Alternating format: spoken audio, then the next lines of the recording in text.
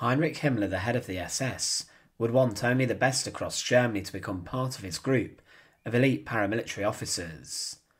The SS would be responsible for the concentration camps, but Himmler himself wanted obedience, respect, but he would not tolerate any weakness at all. But what is not as well known is that the Reichsfuhrer SS would himself have a significant issue as the Second World War came to an end.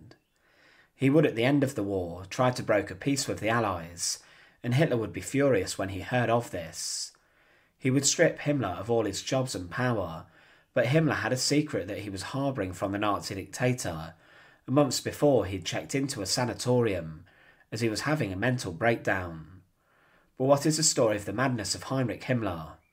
To support our channel, please make sure to subscribe. For some reason, Adolf Hitler seemed to keep Heinrich Himmler away from the leadership of the army for a significant amount of time. Heinrich Himmler was anything but a military general, but Hitler would make him an army group commander twice, and both times he would fail in this. He was thrust into the dying embers of the Second World War in Europe, as in December 1944 he was made the commander of the army group Upper Rhine. His soldiers were responsible for defending the Rhine in the Alsace-Lorraine area.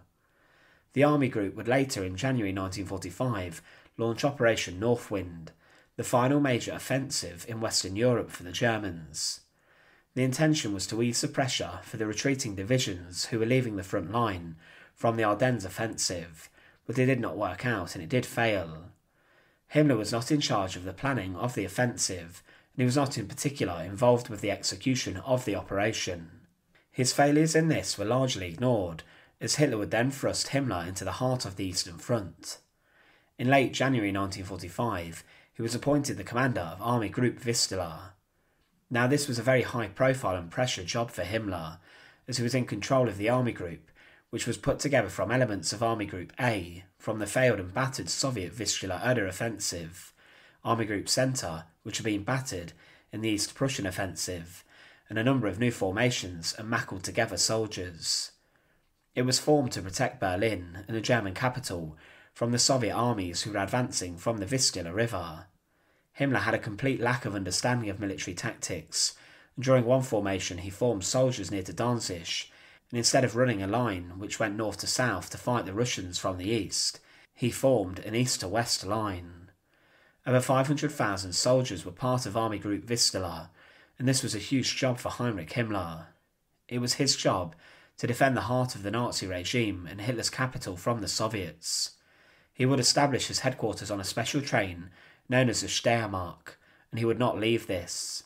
It was based at the Deutsche Krone, and he would run most of his life from this train. The train was not fitted with the equipment needed for a military commander, and Himmler's orders rarely made it to the front line. He never also went to the front line to meet his soldiers, and it was clear at this time in the war that for Himmler things were going rather badly. The advancing Russian soldiers would ignore the defensive setup of the inept Himmler, and because of this they battered the German soldiers and went south towards Berlin.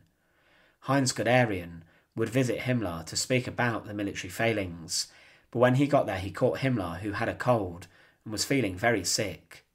He was a man who at this point was working only four hours a day, and he must have known that the German war effort was failing.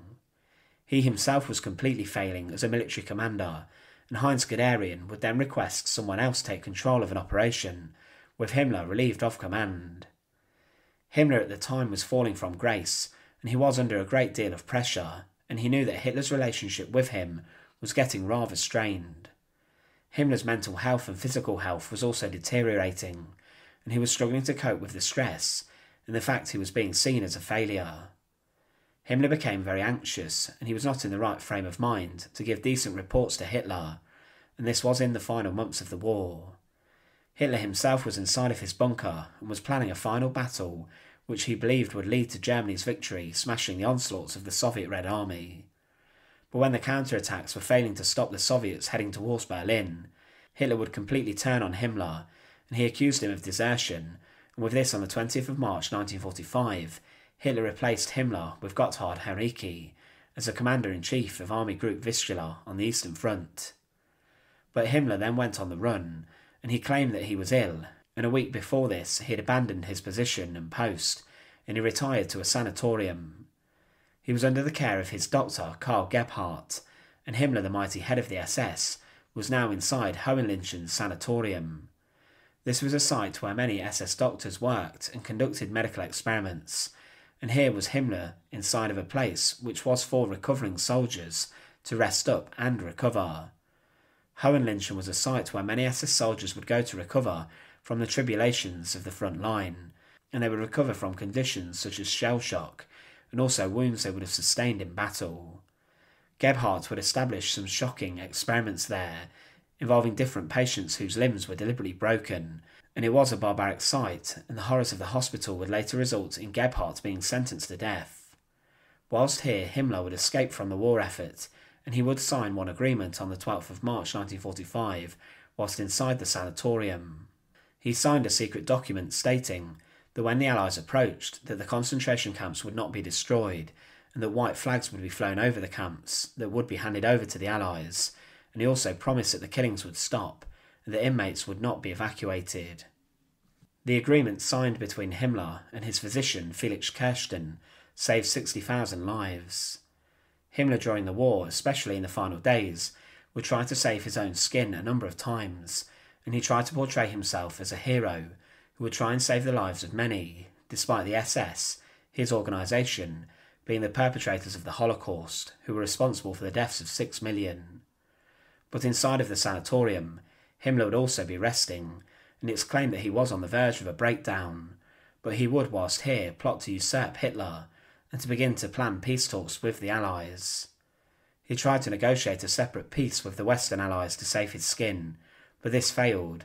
Then, in the final moments of the war, Himmler would go on the run before he was captured by the British Army, and he would then take his life inside of captivity, under rather strange circumstances. But inside of Hohenlychen Sanatorium, Heinrich Himmler was said to have been recovering because of the fact he was struggling with the effects of being made a commander. He was a man who was not a military officer, and he had never really had any experience in the military. To give him command of the struggling war effort was a strange decision by Adolf Hitler, and it was clear Himmler could not hack the stresses of military command. He would have a full breakdown, and he would check into the medical facility as he claimed he was ill but he then was deemed a burden to Germany by high ranking field marshals at the end of the Second World War. What was shocking is that it was only 96 days from when Himmler was appointed the commander of Army Group Vistula to the day that Hitler died inside of the bunker, and then eight days later Germany would surrender. What was also strange was that Hitler decided to give Himmler another chance, despite the fact he was from very early on a complete failure with regards to military leadership matters but Himmler's breakdown and fleeing to a sanatorium was a shocking and feeble act for one of history's most evil men. Thanks for watching. To support our channel, please make sure to subscribe, and once again, thank you so much for watching.